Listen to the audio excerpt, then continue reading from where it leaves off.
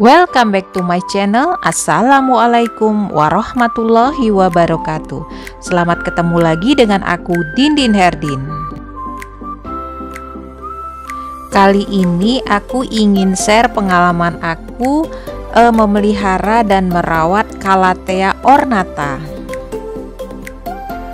tapi sebelum kita lanjutkan video ini, buat kalian yang suka dengan channel aku, yuk subscribe aku ya, like, dan tekan tombol loncengnya.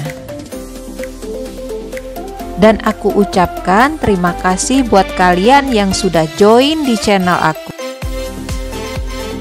Dan jangan lupa nonton video ini sampai selesai ya.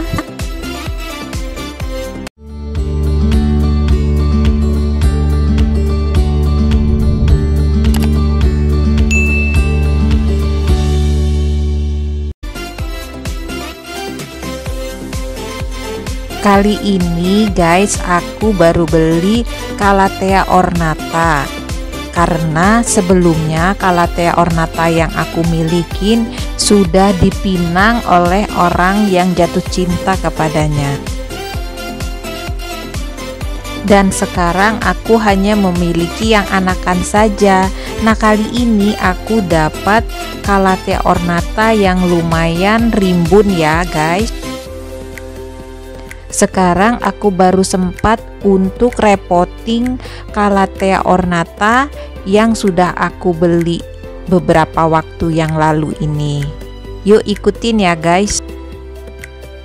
Jadi pertama-tama persiapkan dulu pot yang akan kita gunakan. Kemudian kita siapkan juga uh, media tanam dari kalatea tersebut ya guys. Biasa untuk media tanam yang digunakan adalah poros. Dan yang biasa aku pakai adalah tanah dicampur sama sekam bakar dan kotoran hewan yang sudah difermentasi pertama-tama media tanam yang ada di dalam pot ini kita gemburkan dengan cara di pinggirnya ditusuk-tusuk. Kemudian barulah dikeluarkan tanaman tersebut. Nah ini dia penampakan daripada media eh, yang ada dari pot tersebut. Jadi aku periksa terlebih dahulu kondisi daripada eh, kalatea ini dan sepertinya guys media tanamnya agak kurang baik ya guys.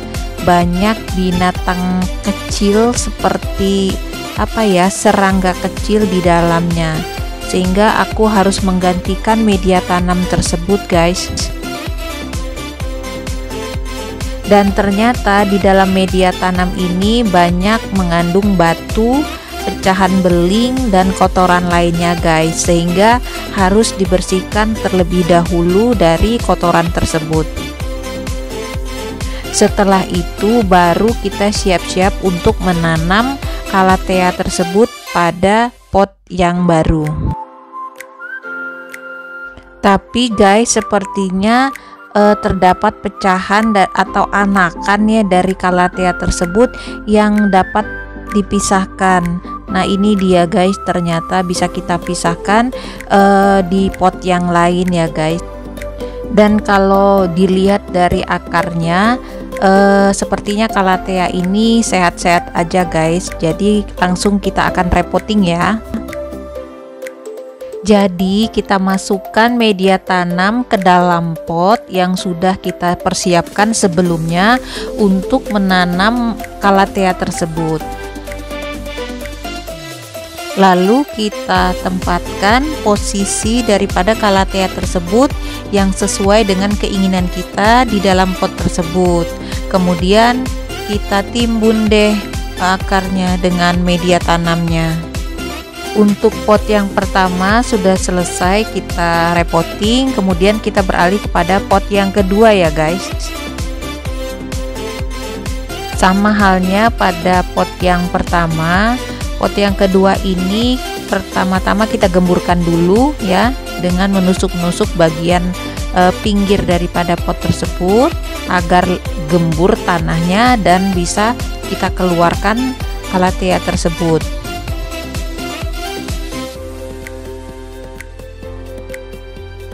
Sepertinya pada pot yang kedua ini terdapat banyak cacing. Nah, ini dia terlihat ya, lumayan besar cacingnya ya. Ternyata ketika aku lihat tanahnya ya banyak sekali kutu atau serangga ini yang bergerak-gerak. Jadi memang sepertinya eh, media tanam yang digunakan itu sudah tidak baik lagi karena sudah banyak mengandung serangga, kutu, uh, ulat dan cacing. Jadi terlihat banyak sekali cacing di dalam media tanam pot tersebut. Jadi aku memutuskan untuk membersihkan e, kalatea tersebut dari media tanam dan cacing yang terdapat pada e, media tersebut.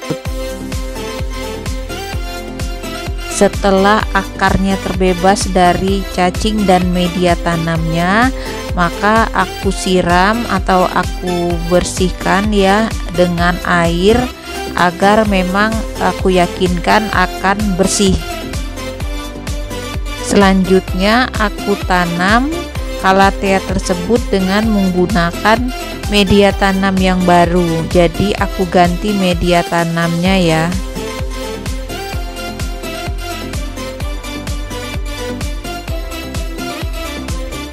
Nah, setelah selesai penanaman kalatea e, tersebut, aku beri koko fiber di atasnya ya, agar e, sejuk tanaman tersebut dan dapat terjaga kelembabannya.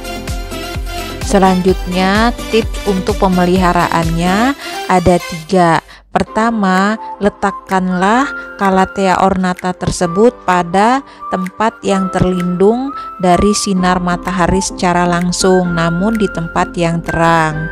Karena apabila Calathea tersebut langsung terpancar sinar matahari, maka daunnya akan kering dan menggulung. Yang kedua, lakukanlah penyiraman secara rutin namun tidak terlalu berlebihan. Artinya media tanam tidak becek. Jadi lakukanlah e, penyiraman e, sehari minimal satu kali. Yang ketiga berilah pemupukan apakah itu kompos maupun pupuk kandang yang sudah difermentasikan secara berkala sebagai pengganti nutrisi yang habis diserapnya. Bisa juga sekali-sekali disiram air cucian beras. Demikianlah video aku kali ini untuk perawatan Calathea ornata. Semoga bermanfaat. Thanks for watching. See you next my video. Wassalamualaikum warahmatullahi wabarakatuh. Bye.